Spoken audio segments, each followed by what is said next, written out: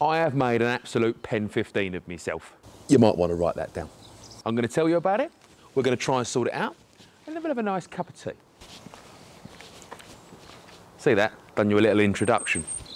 Right, picture me. It was a week ago. I was picking up a car for a photo shoot. His car was on the drive. I put mine on the curb for a second, took his car off, full lock left in mine, put it in reverse. Mm, mm, wouldn't move. I was thinking, what's wrong with this? Absolutely sent it and crunch. I was caught on a fence post. Oh no, what a disaster.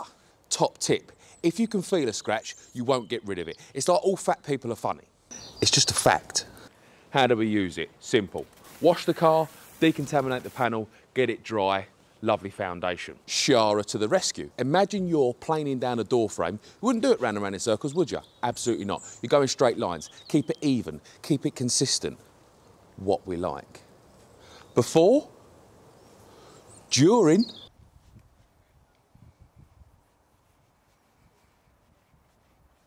after.